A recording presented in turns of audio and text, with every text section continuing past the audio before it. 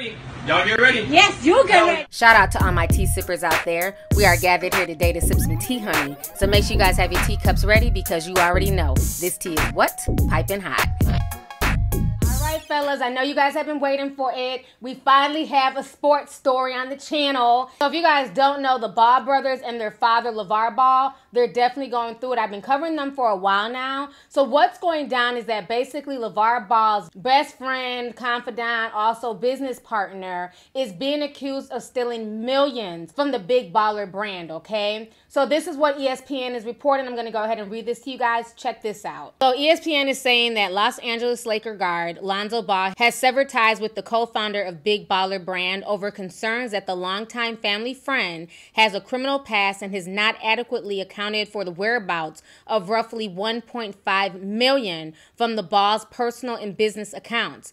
Ball told ESPN that he believed that Alan Foster a friend of Lonzo's father for almost a decade who owned 16.3% of the Big Baller brand, had used his access to my business and personal finances to enrich himself. As a result, I've decided to sever all ties with Alan effective immediately. Foster has served as a business manager of Olive Ball family's companies, including the Big Baller brand, which was formed as a limited liability company in 2014. Foster developed a close friendship with the Ball family beginning around 2010 when Lonzo and Foster's son became friends as seventh graders. It was Foster, Lonzo's father, LaVar Ball, who said he helped convince me to create a shoe and apparel company featuring three basketball playing sons rather than allow Lonzo to sign one of the guaranteed multi-million dollar endorsement deals that had been offered by more established shoe companies such as Nike and Adidas. According to documents and emails reviewed by ESPN, questions of Foster business decisions and communication were first raised last fall to Lonzo and LaVar Ball by Lonzo's financial advisor. The advisor's name is Humble Lukanga of Lifeline Financial Group. He alleged in an October email that Lonzo's personal taxes and Big Baller's taxes could not be completed on time due to an inability to account for a whereabout of $1.5 million. Sources close to the Ball family told ESPN that Lonzo expressed his concern about Foster to his father several times over the past few months, but deferred to LaVar to manage the situation. It wasn't until this week that the same sources said that LaVar fully reviewed the email warnings and documents from Lukanga as he had been traveling overseas with the younger son in the fall. Sources described LaVar Ball as stunned when the email and the documents were read to him. LaVar has declined to comment, but issued a statement to ESPN calling the situation devastating.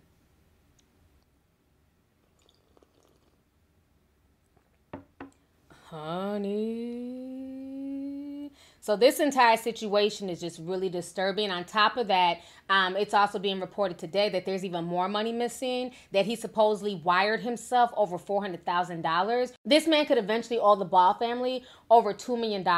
And it's also being noted that this same man was arrested back in 2002. And they're saying that he had a restitution to pay back the victims $3.7 million. I don't know if he ever paid those victims back. I'm not sure. But this situation has gotten even sadder because now, if you guys don't know, on social media, all of the Ball brothers, Melo, Gelo, and Lonzo, they've all unfollowed LaVar Ball. So I think right now, you know, they're not feeling the situation. They feel like the father's at fault and they're giving the father the side eye. I'm going to go ahead and show you guys these tweets. Go ahead and check this out. So Lonzo posted a caption on his picture that says, moving on to bigger and better, hashtag my own man. He also changed his Twitter profile picture to himself wearing a Nike t shirt as a baby. On top of that, he also released a statement. He says, This has been a very difficult decision, as I had a great deal of love and respect for Alan.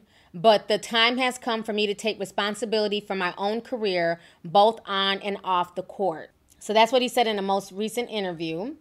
And so then after he wrote, moving on to bigger and better, hashtag my own man, Melo, who's the youngest brother, he came on there and he says, Love you, brother. Thanks for getting us out, my G. 100.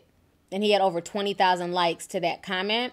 And then now, if you search Big Baller Brand, none of them are following Big Baller Brand. So at the end of the day, this entire situation is just really sad. And I can see how this is going to cause a split in the family where you have the brothers over here and you have the father over there and you have the father in the middle and then you have Alan over here. Now, of course, I'm sure LaVar Ball is going to side with his brothers, but I'm sure he's really hurt that somebody he considered a close friend would rob him blind, okay? And I'm glad that Lonzo Ball is now taking his finances seriously and he's becoming his own man. He does not need to depend on his father. You know why? I will always give LaVar Ball props for raising, you know, three strong young men. You know what I'm saying? I'm raising them, keeping them on track up until Gelo got arrested. None of them had a criminal record. All they did was play basketball. I mean, they are really talented kids. Nobody can take that from them. I don't see Gelo going into the NBA like I've told you guys that before, but definitely LaMelo, he's on his way to the NBA. I can see him and Lonzo eventually playing together on the same team or some shit. You know what I mean? But like I said, I feel bad for them.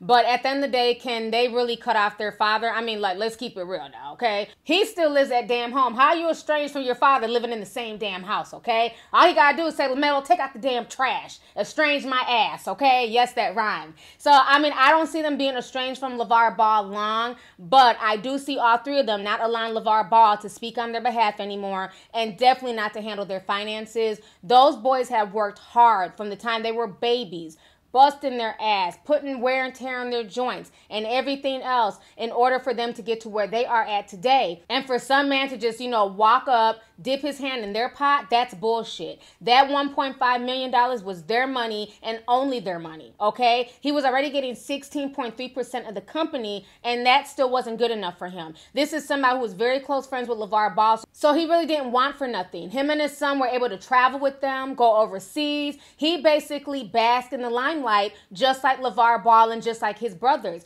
But it just shows you how greedy and manipulative some people are. And that's the sad part that some people that you think are your friends, you can't even trust them. You know what I'm saying? I'm glad that Lonzo eventually woke up. I'm glad that he got a separate financial advisor and that financial advisor was on top of everything. Because if it was not for the financial advisor, this man could have finessed them for years, okay? He could have been taken off the top for years before anybody would have realized that. So the entire situation is insane. This is why a lot of times people say that friends and family and business, they just don't gel. It's better to work with people outside who their only vested interest is the business, is doing their job. Because sometimes friends and family tend to get comfortable and think that you owe them something or that they should get more off the pie. You know what I'm saying? And when they have a personal relationship with you, they don't know how to pull that back and let it just be a business relationship. So I hope that they all learn from this, but this is really sad that they're having to go through this. But but I'm just glad that they were able to, you know, figure this out. But I don't take any joy in this whole situation with them not talking to their father and there being this big rift.